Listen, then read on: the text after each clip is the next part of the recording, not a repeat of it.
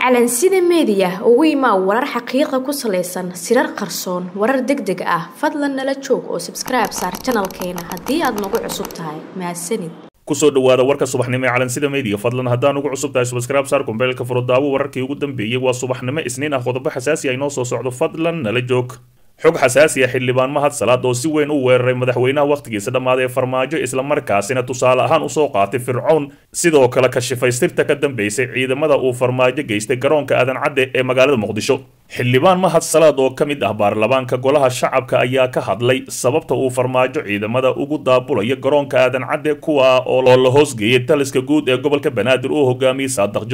john mahad salaad ayaa sidoo kale sheegay in farmaajo uu meel walbo ciidan geystay si uu u hareerayo musharaxiinta iyo madaxweynayaasha puntland iyo jubbaland ujeedka ugu weyn ee farmaajo uu leeyahay ayuu ku tilmaamay inuu xadido dhaqdhaqaaqa musharaxiinta ee galaya ama ka soo baxaya garoonka aadan cadde isagoo xusay in laga hortago inta uusan gaarin heer kale oo wax laga qaban waayo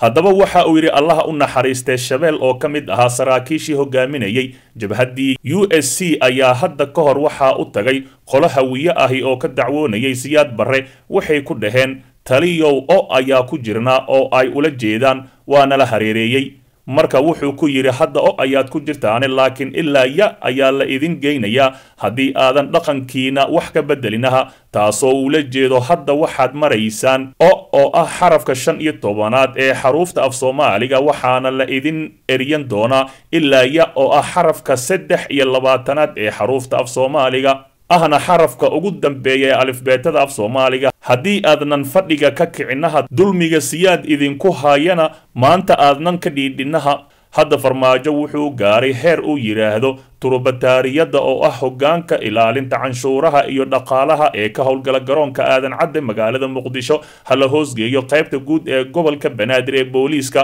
taas oo sharci ahaan iyo hoggaan ahaanba khilaafsan shuruucda dalka iyo habdhismeedka taliska ciidamada booliiska soomaaliyeed. Laakiin ujeeddada laga leeyahay ay tahay in ciidamo farmaajo si toos ah uga amar qaata gacanta loo geliyo amniga garoonka diyaaradaha iyo nawaaxigiisa oo horay ay u joogeen ciidamada turubataariyadda iyo kuwa amisom. Si loo xadido dhaqaaqa madaxweynayaasha puntland iyo jubbaland ee degan xerada xalane mucaaradka iyo musharaxiinta galaya ama ka soo baxaya garoonka iyo xindaabkiisa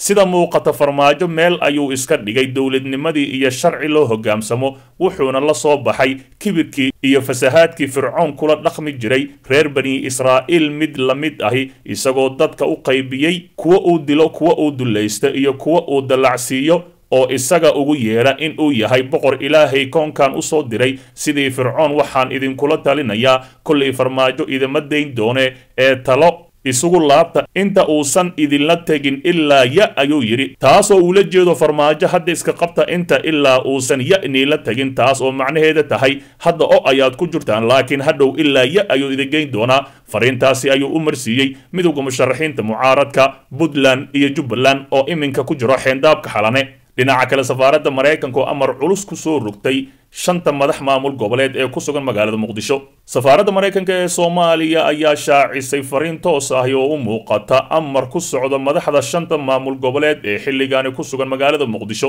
Fariinta safaaradda ayaa u qorneed sida tan dadka soomaaliyeed waxay rabaan doorasho hadda dhacda siciid dani axmed madoobe axmed qoorqoor cali gudlaab iyo cabdicasiis laftagareen waa in ay muqdisho joogaan ilaa heshiis laga gaaro. Fashilku ma ahan mid furan taasoo ah amar cad fariinta maraykanka ayaa timid kadib baaqii beesha caalamka ee lagu faafiyey shirka wadatashiga ee lagu wada inuu maanta ka furmo muqdisho waxaana xogta sheegaysaa in fariinta maraykanka ay ku socotay qaar ka mid ahay madaxda maamul goboleedyada dalka. Saciidani iyo axmed madoobe oo degan hotel ku yaalla xarunta xalane ayaa la sheegay in ay u soo diyaar garoobeen inay muqdisho joogaan bil iyo wakhti ka badan inta farmaajo ka ogolaanayo doorasho aanu saamayn ku lahayn oo xor u dhacda. Laakiin madaxda maamul goboleedyada taageersan farmaajo ayaa la sheegay inay saamayn toos ah ku leedahay kuna socoto fariintan fadlan dib u daaw wararkeenii hore ee calansida meediya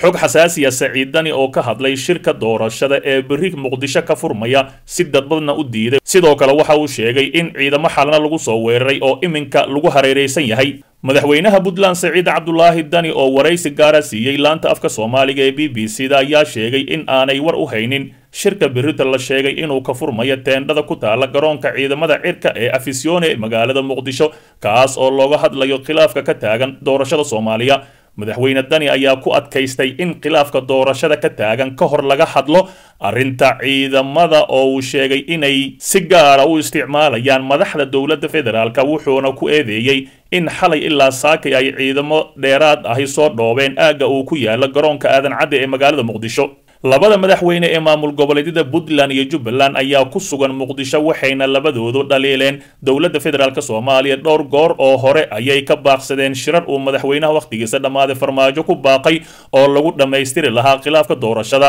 Hadda muddo toddobaad ahi ayuu ku sugan yahay caasimada soomaaliya halkaas oo kulamo uu kula yeeshay madaxda mucaaradka iyo siyaasiyiin kale. Wuxuu yidhi dani waxaan halkaani imid kadib markii aan martiqaad rasmi ah ka helay beesha caalamka gaar ahaan james swam iyo yamamoto oo aad baryahan ugu howlanaa sidii dhinacyada la isugu keeni lahaa kadib markii uu dhammaaday muddaxileedkii hay'adaha dastuuriga ah ee dowladda federaalka. Muddadii aan joognay waxaan wadahadal la yeelanay beesha caalamka iyo dad badan oo soomaali ahay oo ugu muhiimsan yihiin madaxdii hore oo hadda ku midaysan midowda musharaxiinta mucaaradka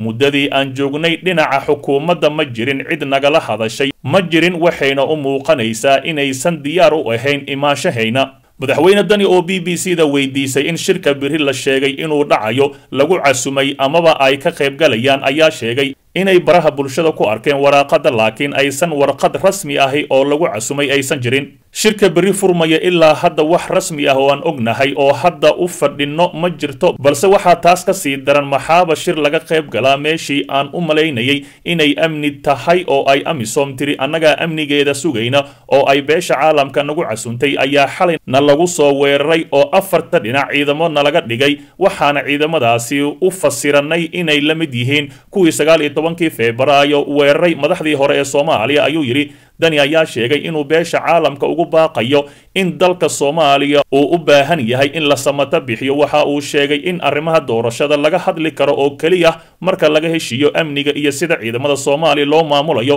Madaxweyne dani ayaa horay cabasho ugu muujiyey ciidamada dowladda gaar ahaan harmacad iyo gorgor kuwaasi oo ku tilmaamay inay khatar dhanka amniga ah u horseedaan dalka. Dhinaca kale beesha caalamka oo war ka soo saartay shirka xalana iyo goorta uu dhacayo beesha caalamka ayaa qoraal ay soo saartay ku xaqiijisay in shirka madaxda dowladda federaalk iyo dowlad goboleedyada uu ka dhacayo aagga la ilaaliyo ee gegada diyaaradaha caalamiga ah ee magaalada muqdisho. Qoraalka ayaa lagu yidhi saaxiibada beesha caalamka waxay soo dhaweynaysaa imaatinka ka qaybgalka shirka madaxda dowladda federaalk soomaaliya iyo hogaamiyaasha dowladaha xubnaha ka ah dowladda federaalk soomaaliya kaas oo lagu qaban doono aagga la ilaaliyo ee caasimada soomaaliya. Beesha caalamka ayaa ugu baaqday madaxda soomaalida inay si dhaqso leh u shiraan ayna muujiyaan hogaamin iyagoo ka amba qaadayo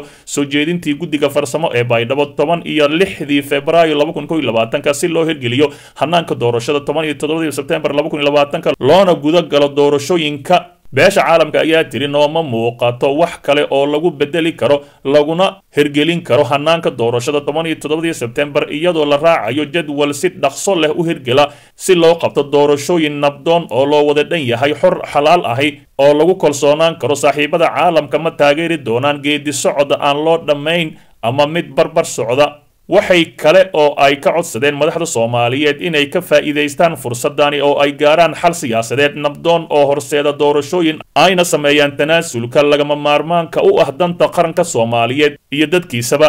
Dhinaca kale madaxweynaha lafta gareen oo si weyn loogu soo dhaweeyey magaalada muqdisho islamarkaasina ka soo laabtay dalkaasi turkiga. Madaxweynaha dowlad goboleedka koonfur galbeed soomaaliya mudane cabdicasiis xasan maxamed lafta gareen ayaa maanta soo gaaray magaalada muqdisho kadib safaro uu ugu maqnaay dalkaasi turkiga. Lafta gareen iyo wafdigiisa ayaa waxaa garoonka diyaaradaha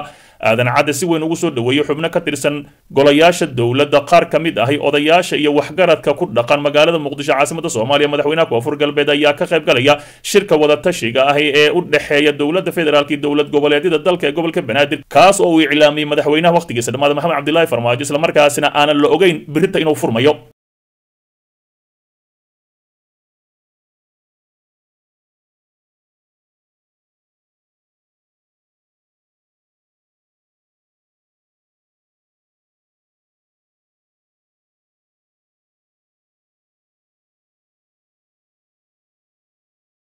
dhegaystow ogow haddaadan xalka qayb ka noqon waxaad qayb ka tahay dhibaatada dalka. Calansida meediya ugu imaa warar xaqiiqa ku salaysan sirar qarsoon warar deg deg ah. Fadlan nala joog oo sabskribe saar janalkeena haddii aad nagu cusub tahay. Mahadsanid